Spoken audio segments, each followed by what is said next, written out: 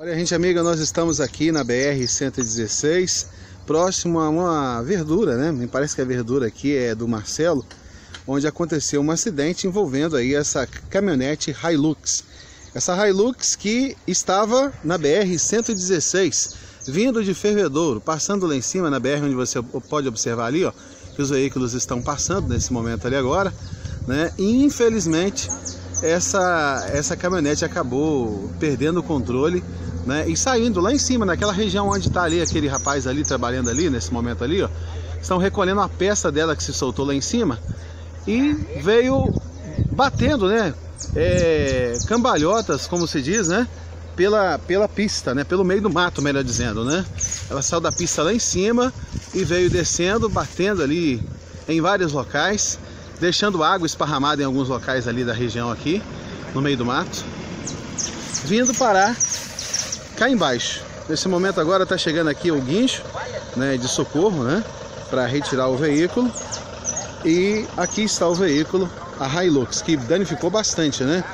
Felizmente, graças a Deus, o motorista Davi, que faz entrega de água, inclusive para Big Family lá em Fervedouro, ele que estava na condução desse veículo, não se feriu assim, bom, com gravidade, aparentemente não, né?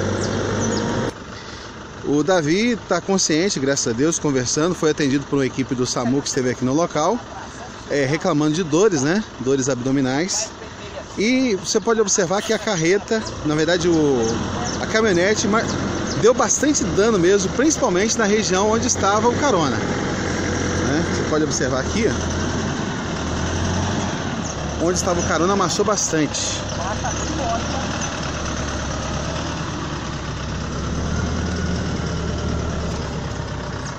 Olha só como é que ficou aqui por dentro. Bateu uma, uma, uma, uma frente ali na, no rosto dele.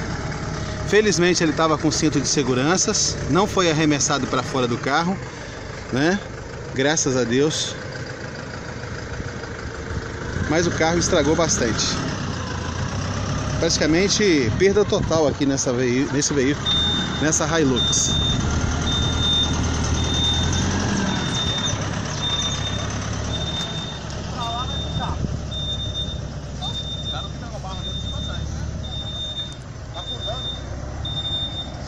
Nesse momento aqui, uma empresa de guincho do Ronaldo, né? O Auto Socorro Líder está fazendo aí a retirada, vai fazer a retirada dessa caminhonete que saiu lá de cima.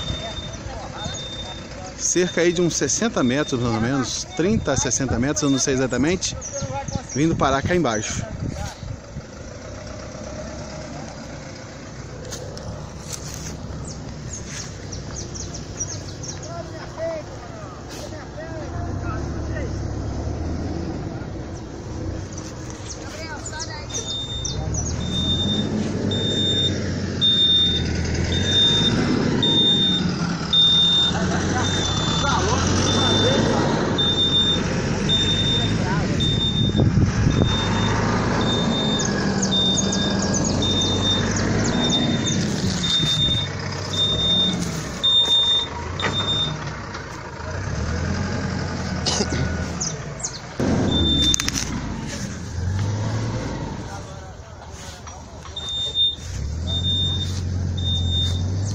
Ao mesmo tempo também esparramando várias garrafinhas de água pelo chão.